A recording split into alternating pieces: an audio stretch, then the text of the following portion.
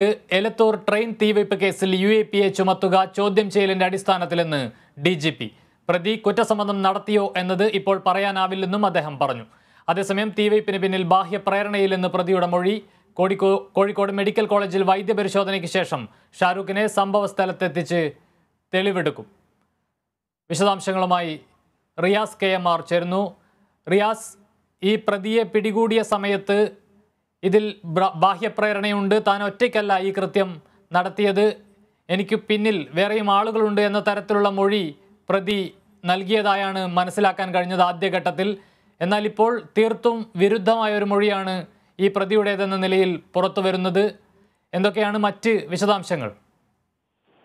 തീർച്ചയായും കമലേഷ് നേരത്തെ പ്രതിയെ മഹാരാഷ്ട്ര എ ടി എസ് പിടികൂടുകയും അതിനുശേഷം വിശദമായ ചോദ്യം ചെയ്യൽ നടത്തുകയും ചെയ്തിരുന്നു. മഹാരാഷ്ട്ര എ ടി എസിന്റെ ഡി ഐ ജി മഹേഷ് പാട്ടീലിന്റെ നേതൃത്വത്തിലായിരുന്നു രത്നഗിരിയിൽ വെച്ച് പ്രതിയെ വിശദമായി ചോദ്യം ചെയ്തത്. അതിൽ ഷാറൂഖ് സൈഫി പറഞ്ഞിരുന്നത് തനിക്ക് പിന്നിൽ ഒരു ഇൻസ്ട്രക്ടർ ഉണ്ട്. താൻ ഈ ഒരു തെറ്റ് തെറ്റ് ചെയ്തിട്ടുണ്ട് എന്നുള്ളതാണ്. എന്നാൽ പിന്നീട് ഈ പ്രതിയെ കേരളത്തിൽ എത്തിച്ച് ഇന്ന് രാവിലെ ആറ് മണിയോടുകൂടിയാണ് പ്രതിയെ കോഴിക്കോട് മാലൂർ കുന്നിലെ എ ആർ പി ക്യാമ്പിൽ കൊണ്ടുവന്നത്. അവിടെ നിന്നും അഞ്ചു മണിക്കൂറോളം പ്രതി ചോദ്യം ചെയ്തു. ഈ ഷാറൂഖ് സൈഫിയെ ചോദ്യം ചെയ്യാനായി S I T special investigation ടീമിന്റെ സംഘത്തലവനായിട്ടുള്ള A D G P M R Ajith Kumar അടക്കം ഉള്ള ഉന്നത പോലീസ് ഉദ്യോഗസ്ഥർ തന്നെ നേരിട്ട് എത്തിയിരുന്നു. ഇവരുടെ ഉൾപ്പെടെയുള്ള ചോദ്യം ചെയ്യലിൽ പ്രതി അതായത് താൻ ഒറ്റയ്ക്ക് തനിക്ക് പറ്റിയൊരു അബദ്ധ ഒരു കുരുട്ടുബുദ്ധിയാണ് തന്റെ ഒരു കുരുട്ടുബുദ്ധിയാണ് എന്ന തരത്തിലാണ് പറഞ്ഞത്. പിന്നിൽ ആരെങ്കിലും ഉണ്ടോ എന്ന ചോദ്യത്തിന് ആവർത്തിച്ചുള്ള പോലീസിന്റെ ചോദ്യത്തിന് മറുപടി നൽകാൻ ഈ അന്വേഷണ സംഘത്തിന്റെ ചോദ്യത്തിന് മറുപടി നൽകാൻ പ്രതി തയ്യാറായില്ല. അങ്ങനെ ഈ ചോദ്യം ചെയ്യൽ പ്രാഥമികമായി ചോദ്യം ചെയ്യൽ അഞ്ചു മണിക്കൂറോളം നീളുന്ന ഒരു സാഹചര്യമാണ് ഉണ്ടായത്. പിന്നീട് പതിനൊന്ന് ഇരുപതോടുകൂടിയാണ് പ്രതിയെ കോഴിക്കോട് മെഡിക്കൽ കോളേജിലെ മോർച്ചറിയുടെ പരിസരത്തുള്ള പഴയ വാർഡിൽ പ്രതിയെ വൈദ്യ പരിശോധനയ്ക്കായി കൊണ്ടുവന്നത്. വിശദമായൊരു വൈദ്യ പരിശോധനയാണ് ഇവിടെ നടന്നത്. പ്രത്യേകിച്ച് ഈ അതായത് വൈദ്യ പരിശോധനയും ഏകദേശം അഞ്ചു മണിക്കൂറിലേറെ നീണ്ടു. ഷാറൂഖ് ഷെയ്ഫിയുടെ ശരീരത്തിലേറ്റ പൊള്ളലിന്റെയും മുറിവുകളുടെയും പഴക്കം ഉൾപ്പെടെ ഡോക്ടർമാർ വിദഗ്ധമായി പരിശോധിച്ചു. ഫോറൻസിക് വിദഗ്ധരെ അടക്കം ഇവിടെ മെഡിക്കൽ കോളേജ് ആശുപത്രിയിൽ എത്തിച്ചിരുന്നു. ഫോറൻസിക് പരിശോധനയും നടത്തി. കാരണം പ്രത്യേകിച്ച് ഇത് വളരെ തീവ്രവാദ സ്വഭാവമുള്ള ഒരു കേസാണ്. എൻ എൻ ഐ എയും അതുപോലെ എ ടി എസും അടക്കമുള്ള കേന്ദ്ര ഏജൻസികളും ഇതിന്റെ അനുബന്ധമായിട്ടുള്ള ചെറിയ അന്വേഷണം നടത്തുന്നു. ഒരുപക്ഷെ എൻ ഐ എ ഈ കേസ് ഏറ്റെടുക്കാനുള്ള സാധ്യതകളും ഏറെയാണ്. അതുകൊണ്ട് തന്നെ ഈ പ്രതിയെക്കുറിച്ചുള്ള വിശദമായ ഡി എൻ എ സാമ്പിളുകൾ അടക്കം കൃത്യമായി പരിശോധിച്ചുകൊണ്ടുള്ള ഒരു പരിശോധനയാണ് ഇവിടെ കോഴിക്കോട് മെഡിക്കൽ കോളേജിൽ നടന്നുകൊണ്ടിരിക്കുന്നത്.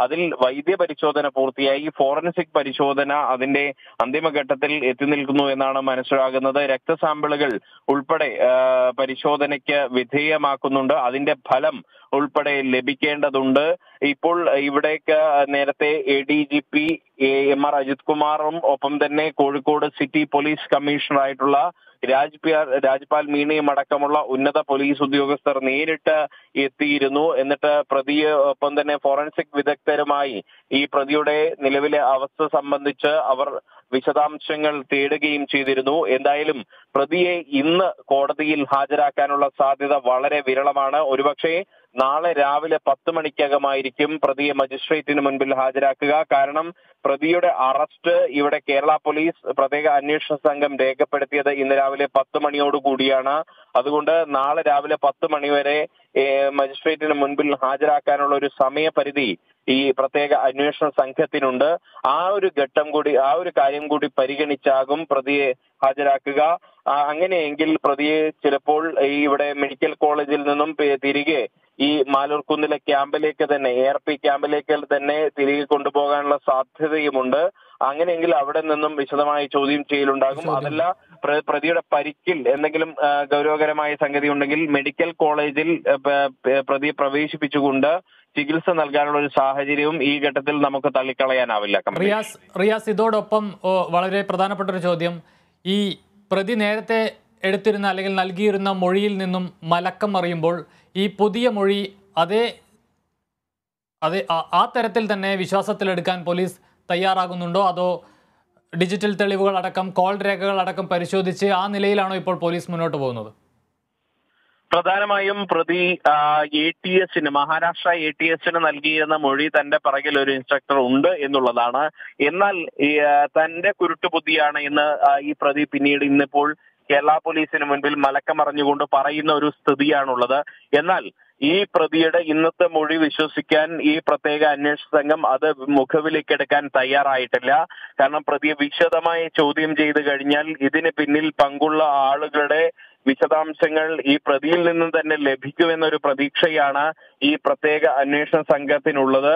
അങ്ങനെയെങ്കിൽ അത് പരിശോധിച്ചുകൊണ്ട് വിശദമായ ഒരു ചോദ്യം ചെയ്യലിലേക്കായിരിക്കും കാര്യങ്ങൾ നീങ്ങുക.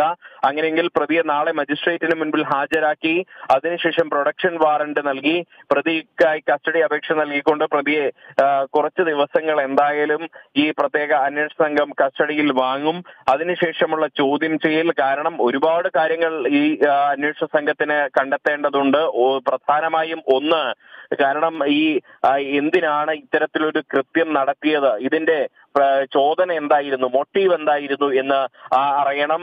ഒപ്പം തന്നെ ഇതിൽ ആരൊക്കെ സഹായിച്ചു എന്നുള്ളത് പ്രതി പോലീസിനോട് ഇന്ന് പ്രത്യേക അന്വേഷണ സംഘത്തോട് രാവിലെ ചോദ്യം ചെയ്തപ്പോൾ വെളിപ്പെടുത്തിയ ഒരു കാര്യം എന്ന് പറയുന്നത് താൻ കേരളത്തിൽ ആദ്യമായാണ് വരുന്നത് എന്നുള്ളതാണ്. അത് തന്നെയാണ് പ്രതിയുടെ മാതാപിതാക്കൾ. ഈ ഷാറൂഖ് സൈഫിയുടെ മാതാപിതാക്കൾ ഇന്നലെ ഡൽഹിയിൽ വെച്ച് ഇത് അന്വേഷണ സംഘത്തിന് മുൻപിൽ ഇത് തങ്ങളുടെ മകൻ തന്നെയാണ് എന്ന് സ്ഥിരീകരിക്കുമ്പോൾ പോലും ആ കുടുംബാംഗങ്ങൾ പറഞ്ഞത് തങ്ങളുടെ മകൻ ആദ്യമായാണ് കേരളത്തിൽ വരുന്നത്. ഇതിനു മുൻപ് കേരളത്തിലേക്ക് വന്നിട്ടില്ല എന്ന കാര്യം പറയുന്നു. അതെ. തന്നെ ഇന്ന് വ്യക്തമാണ്. റിയാസ് എലത്തൂർ ട്രെയിൻ തീവെപ്പ് കേസിൽ യു എ പി എ ചുമത്തുന്നത് വിശദമായ ചോദ്യം ചെയ്യലിന് ശേഷം എന്നാണ് അന്വേഷണ സംഘം വ്യക്തമാക്കുന്നത്. അതേസമയം നേരത്തെ നൽകിയ മൊഴിയിൽ നിന്നും മലക്കമറിയുന്ന സ്ഥിതിയാണ് പ്രതി ഇപ്പോൾ നടത്തുന്നത്. തനിക്ക് പിന്നിൽ ആരുമില്ല. തനിക്ക് തോന്നിയ ഒരു കുരുട്ടുബുദ്ധിയുടെ ഭാഗമായാണ് ഇത്തരമൊരു ആക്രമണമുണ്ടായത് എന്നാണ് പ്രതി ഇപ്പോൾ പറയുന്നത്. റിയാസ് കെ എം ആർ ആണ് വിശദമായ